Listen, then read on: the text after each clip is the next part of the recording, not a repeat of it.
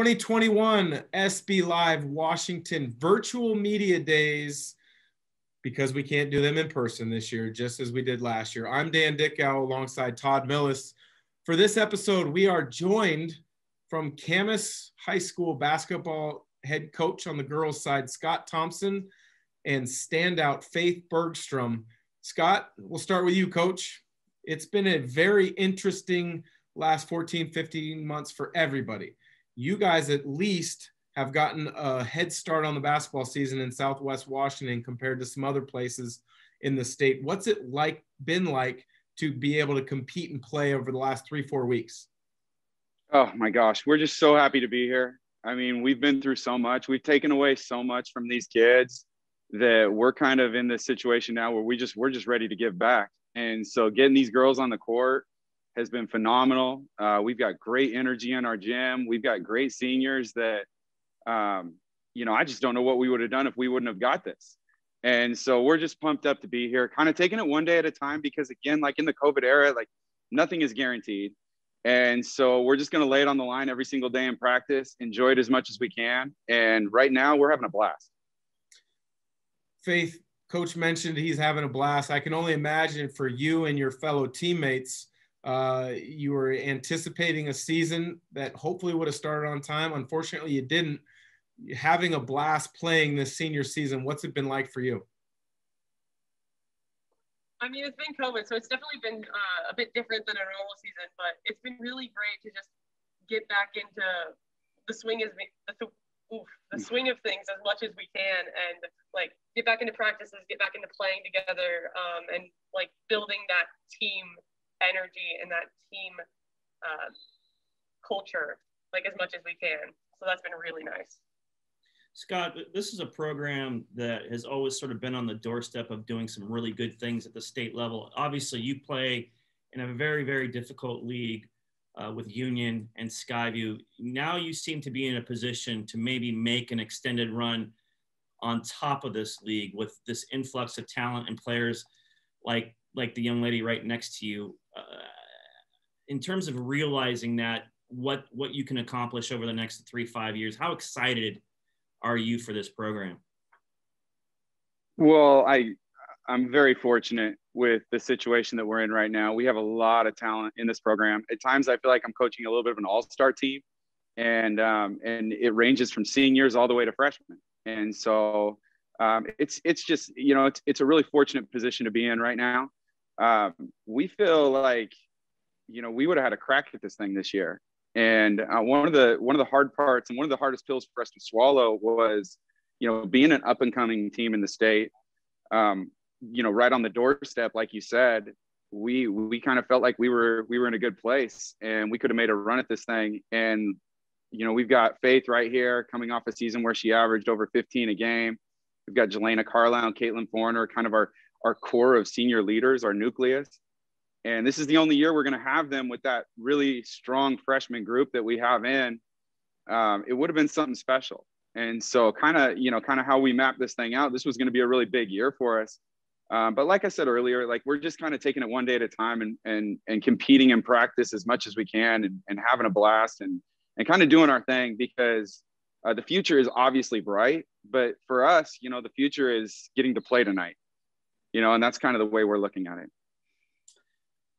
Faith, I'm sure you know you're sort of a rare breed, a back to the basket, the way the way basketball is evolving. Uh, I wanted to ask you a little bit about just how where your skill with both hands. You, you're you're equally talented going over your left shoulder, your right shoulder with both hands. Where did that come from? How much of that is just natural ability, and how much of that do you work on? I've definitely worked on it a lot over the years uh, for sure. Uh, all my coaches have definitely emphasized needing to be able to go both ways depending on what the defense does um, and reading the defense, especially, not just predetermining what you're going to do. So it's definitely been a lot of coaching and just working on that skill set. You know, I've seen I've seen Faith develop so much over the last three years. I, when we first started working with her, um, you know, there was teams that just guarded her to her right hand and said, just don't let her get that right-handed shot off. And they would push her left, and she's just put in the work. Um, she she works tirelessly in the off season um, with with her club coaches, with us, with anyone she can get in the gym with. And, um, you know, seeing her like now at this age, at this stage in her life, being able to go both ways like that. I mean, she is just a rare tool in this game. She can do she can do it all. So Faith, it sounds like you've got a tremendous work ethic and and you've got a drive to improve. And I always love seeing that out of young players. But I also love seeing someone who can kind of look at a player on TV or at the next level and say, hey, I try to pattern my game after that player or I try to learn something from that player. Is there a player at the WNBA or the college level that you really like that you really try to focus in on? Um, not really that I can think of. Um, I don't think. If I had to choose one, probably Breanna Stewart, just because of like we have similar skill sets because she's you know big and she can play outside as well, and that's something I definitely like to be able to do a little bit better. Scott mentioned you've got a, a tremendous young group of players coming up in addition to, to Faith and the other seniors. What is it about the standard that Faith and your other seniors are setting that you can kind of use as a benchmark for your young players coming up? Yeah, th- these girls know the work. You know, they they know they know what we do. Um, I think of their their team and what they did last year. You know, the five returners you know, with our three seniors and then throw in our, our guard Anna Mooney and Ashley Bauer, um, they they they were the they were a nine loss team that made it to the state tournament last year, and I, am pretty sure we were you know more losses than anyone else at that tournament, and um, you know I think part of it was that process is we lost some games early, um, we took you know we took some L's and said like this isn't who we want to be, and so they got to work and they built something special last year. And so now I've got those five returners coming back and saying, like, we know how to do this. Like, we've been through it before. You know, we made ourselves better last year because we worked so hard. And so, you know, we we always talk in our program about great leaders leave clues.